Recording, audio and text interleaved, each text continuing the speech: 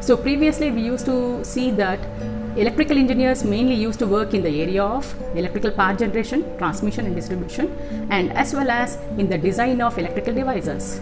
But now for electrical engineers there are wide opportunities because of the invention of electric vehicles and the use of renewable energy into the grid.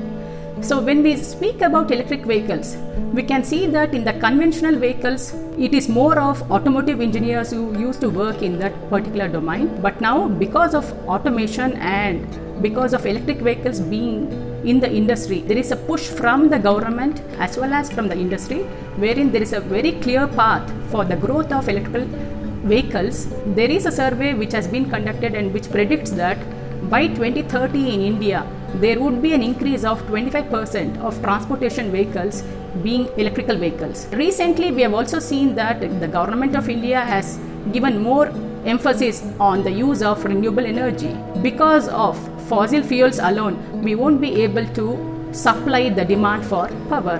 Because of the invention of information and communication technology, it is not just the electrical engineers will be concentrating more on the power systems, we also would be working on power electronics and also on data analytics. In our department currently we have a solar PV research facility which has been established in the project lab wherein students can come out with few characteristics of solar panels, different solar panels, whether it is monocrystalline or polycrystalline, and they can analyze how the characteristics of these panels can be varied according to the need.